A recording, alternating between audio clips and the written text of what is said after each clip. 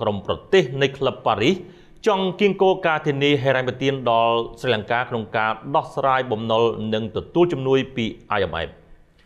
ក្រុមប្រទេសអ្នកផ្ដល់ប្រាក់កម្ចីដែលគេស្គាល់ថាក្លឹបប៉ារីសបានបង្ហាញការត្រៀមខ្លួនរួចជាស្រេចក្នុងការផ្ដល់ការធានាផ្នែកហិរញ្ញប្បទាន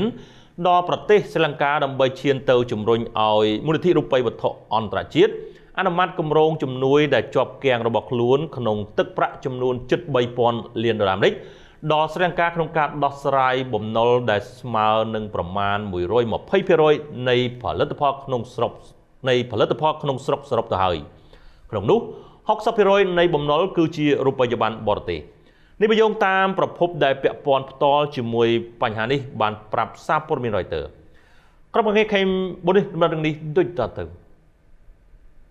កាលពីខែកញ្ញាឆ្នាំ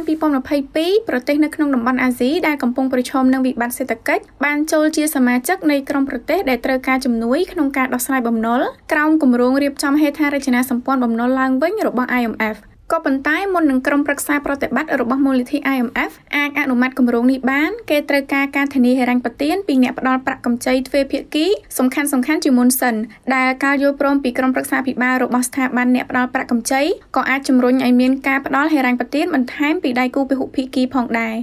ហេតុនេះក្នុងករណីស្រីលង្កាគឺត្រូវមានអ្នកធានាដោយបានរៀបរាប់ខាងលើជាមុនសិនទើប IMF អាចទម្លាក់កញ្ចប់ជំនួយបាន។ សម្រាប់ស្រីលង្កាចិននិងឥណ្ឌាជាប្រទេសដែលស្ថិតក្នុងចំណោមអ្នកដែលផ្ដល់ប្រាក់កម្ចីទ្វេភាគីធំៗរបស់ខ្លួនប៉ុន្តែអ្នកទាំងពីរនេះមិនទាន់បានផ្ដល់ចម្លើយជាក់លាក់ណាមួយទាក់ទងទៅនឹងការធានាសម្រាប់ស្រីលង្កានៅឡើយទេដោយគ្រាន់តែចិនប្រកាសថានឹងពន្យាពេលបង់សំអំណុលរយៈពេល2ឆ្នាំសម្រាប់ស្រីលង្កាប៉ុណ្ណោះ។ផ្ទុយទៅវិញគេបានសង្កេតឃើញថាក្លឹបប៉ារីសដែលជាក្រុមប្រទេសម្ចាស់បំណុលមកពីលោកខាងលិចកំពុងតាក់ទងទៅសមាជិកក្លឹបមិនមែនប៉ារីសដទៃទៀតក្រៅពីប្រទេសចិនដើម្បីរួមគ្នាធ្វើការធានាផ្នែកហិរញ្ញវត្ថុសម្រាប់ទីក្រុងកូឡុំបូ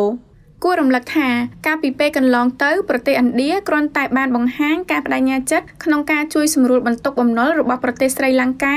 ដែលជាផ្នែកមួយនៃកម្មវិធីរបស់ IMF ប៉ុណ្ណោះ។ ខណៈសកម្មភាពពិតប្រាកដមិនទាន់ឃើញមាននៅឡើយទេហើយកាលពីខែមករាធនាគារ Exim Bank របស់ប្រទេសចិនក៏បានប្រកាសពន្យាពេលសំណងរយៈពេល2ឆ្នាំដល់សេរីលង្កាផងដែរនាយកស្រាវជ្រាវរបស់ IMF លោក P Olivier បានចាត់ទុកការបន្ធូរបន្ថយបំណុលដែលផ្ដល់ដោយប្រទេសចិនថាយ៉ាងហោចណាស់ជាការចាប់ផ្ដើមដ៏ល្អមួយដោយសារតែវាក៏បានជួយស្ដារឡើងវិញនៅនិរន្តរភាពបំណុលរបស់ប្រទេសស្រីលង្កា